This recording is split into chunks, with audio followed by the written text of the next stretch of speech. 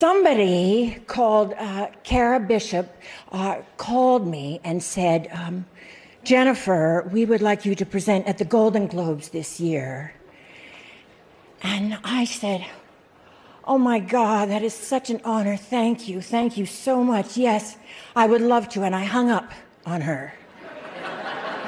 and, um, and then um, I thought about it for a little bit and I just had a, a complete anxiety attack. And uh, I got very, very nervous. And I thought, oh my God, yeah, I'm not doing this. So I called Kara right back.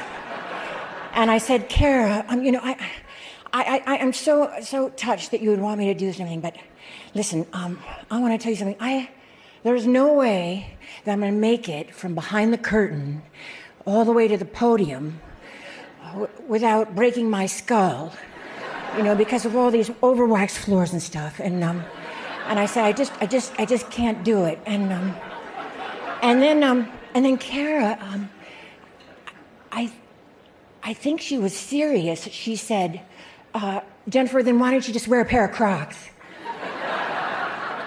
and I, I said, well, are you kidding me? In my, with my Dolce Gabbana dress? You know, all those crazy Italians would lose their minds. and, uh, and then I said, you know, and Kara, what about when I get to the podium and, you know,